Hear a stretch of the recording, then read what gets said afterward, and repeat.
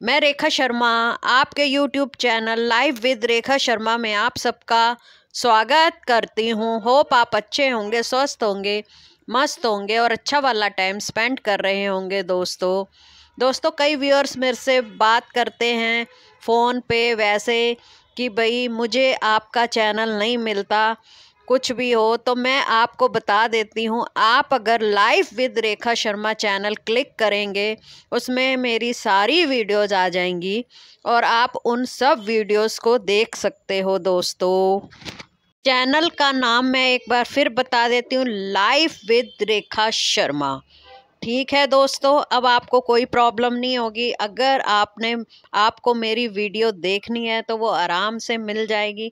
आप चैनल को सर्च कीजिए और सारी वीडियोस उसमें आ जाएँगी।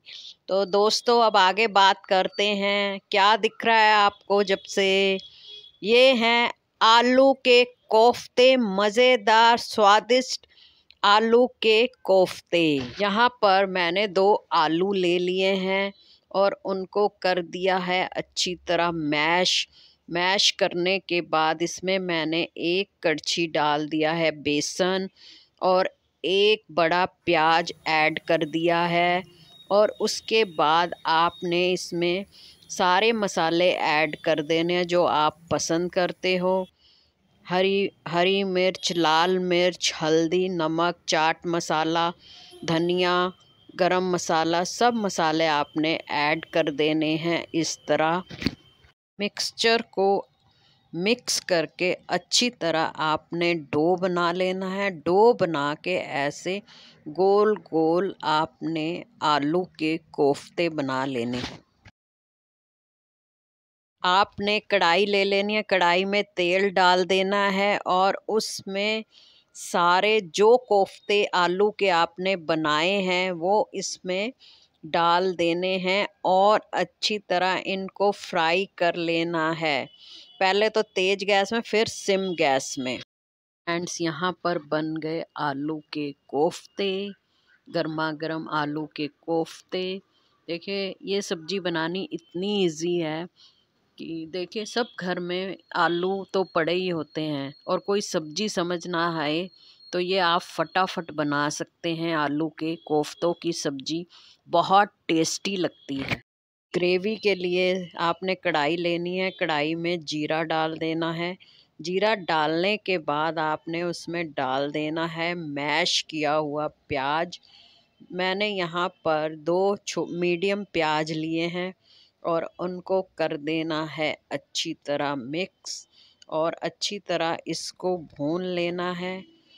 भूनने के बाद आपने इसमें देखिए, यहाँ पर ये अच्छी तरह भुन गया है और अच्छी तरह भुनने के बाद आपने इसमें कर देना है ऐड टमाटर को।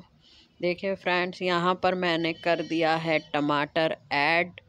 टमाटर ऐड करने के बाद आपने उसको अच्छी तरह भून लेना है सिम गैस में। ताकि ये धीरे धीरे भुने और उसके बाद भुनने के बाद आपने फिर यहाँ पर अलग मसाले डालने हैं, जो आपने कोफ्तों में मसाले डाले थे ना, वो सब ऐसे इसमें ऐड कर देने हैं। तो ऐड करने के बाद जब इसमें आपने मिक्स कर देना है पानी, हल्का सा पानी मिक्स करना है ताकि हमारा मसाला जले ना। और हमने गैस सिम करके इसको हिलाए हिलाते जाना है ताकि हमारा मसाला जले नहीं। और उसके बाद आपने कर देना है पानी ऐड। पानी आ, मैंने यहाँ पर दो गिलास पानी ऐड किया है। पानी ऐड करने के बाद इसको आपने हिलाते हिलाते कि ग्रेवी अच्छी तरह उबल जाए कच्ची ना रहे।